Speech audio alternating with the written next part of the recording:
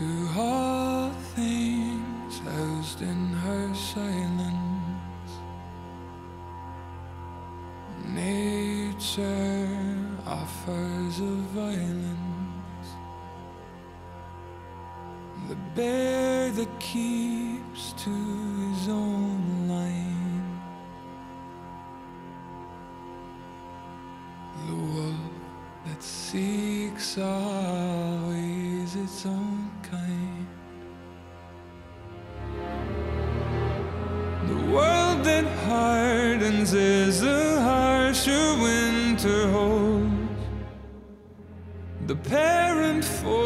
to eat. It's young before it grows. Every